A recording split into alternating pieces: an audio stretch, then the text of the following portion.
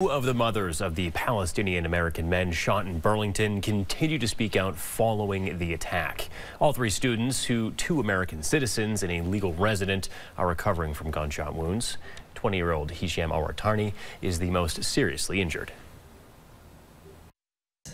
So he should be having an operation today, and he may, in the next week or so, be moved into a rehabilitation facility because he has an incomplete spinal injury, which means that he currently can't move his legs. To have this happen to our children here in the United States, where we sent them to study, thinking that they're safe, is, you know, it's just absolute horror for us. It's every mother's nightmare that has just come true.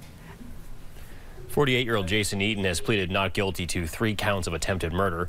Eaton is accused of shooting the men as they were walking down the street, speaking in a mixture of Arabic and English.